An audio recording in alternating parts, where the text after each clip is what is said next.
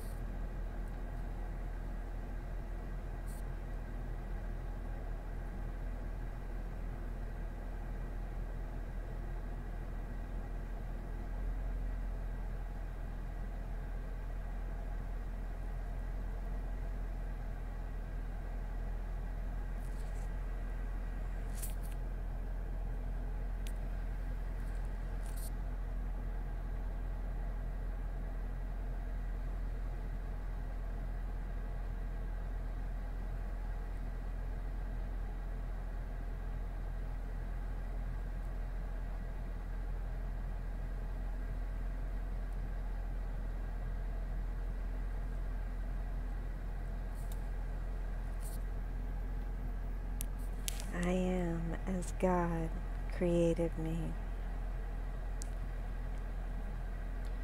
Today's idea is enough and it's all I need. I am as God created me. There's been no separation of my mind from His, no split between my mind and other minds, only unity within my own.